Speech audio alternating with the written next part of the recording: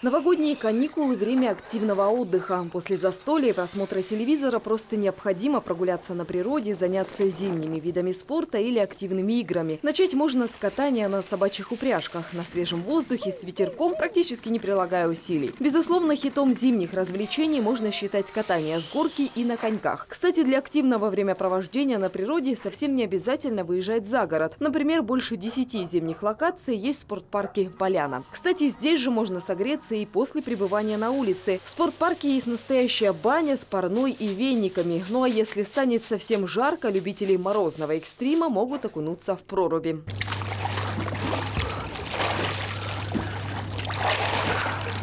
Зимние каникулы – время отдохнуть и взрослым, и детям. Последним точно придется по душе посещение контактного зоопарка. Например, компания из четырех енотов никого не оставит равнодушным. Но для тех, кому не хватает выплеска эмоций, спортивная игра пейнтбол. Это стратегия, тактика и, конечно, адреналин. В парке можно провести время всей семьей.